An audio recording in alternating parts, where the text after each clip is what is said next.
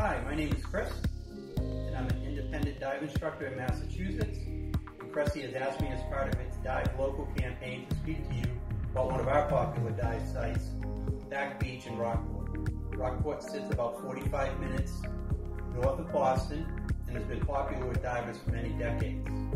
The site itself can offer a variety of marine life as well as unique topography underwater to dive.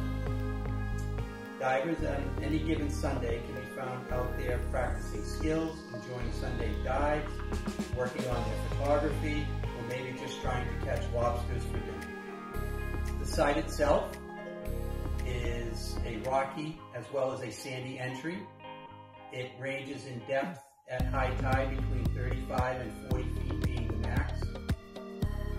It has easy access for vehicles with on-street metered parking, there are local ordinances which you will have to adhere to. The temperature of the water can range in the winter from 40 degrees Fahrenheit to as much as 60 degrees Fahrenheit in the late summer.